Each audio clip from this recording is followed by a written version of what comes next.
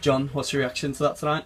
Disappointed, really. You know, on another night it could have been a different game. We didn't we didn't make it uncomfortable for them because we gifted them a goal after seven minutes.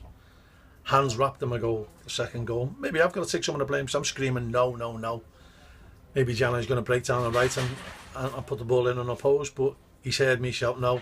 Sean hasn't heard me shout no, and he's passed it straight to them, and they've, they've got a, a clear breakaway. So maybe I've got to take some of the blame, but um, you know these big turning points.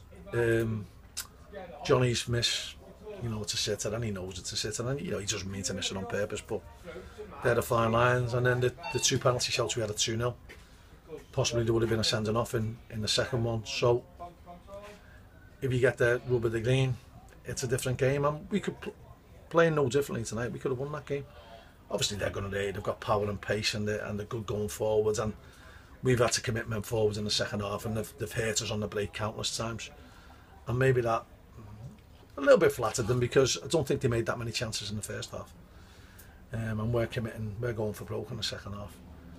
Um, but you know they, they haven't conceded a goal in the Premiership. There's a good side, and you know to score against them is a is a little bonus for us. And we've just got to put that behind us now and concentrate on the league.